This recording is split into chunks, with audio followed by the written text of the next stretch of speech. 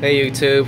So when I dumped the nano, the um, blood shrimp jumped out of the little holder box and he landed on my 210. Um, I hope, well he's still alive so that's really good news. Look at him. Um, now we have another issue guys. I have uh, way too many nems now. Um, they're splitting left and right and uh, I'm afraid my uh, Queen Angel is gonna um, totally just eat them off, but we'll see how it turns out once the um, the Queen Angel uh, comes in next week. Uh, it's almost done with quarantine. Um, yeah, as you guys see, there's no more green hair algae, guys. Uh, I totally took care of it. Um, uh, excuse the mess. It's like um, all the rocks are totally clean.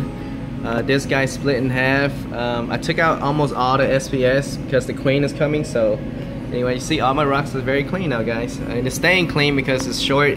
So I have pests now.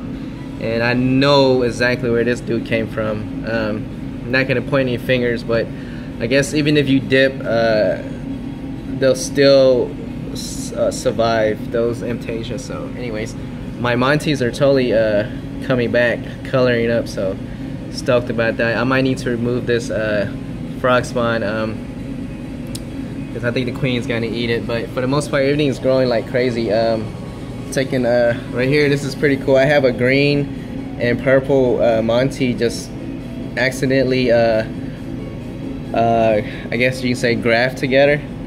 Uh, that wasn't even on purpose. Um, it just accidentally happened. So there it is, guys. It's pretty cool. I should pick them up from the sand.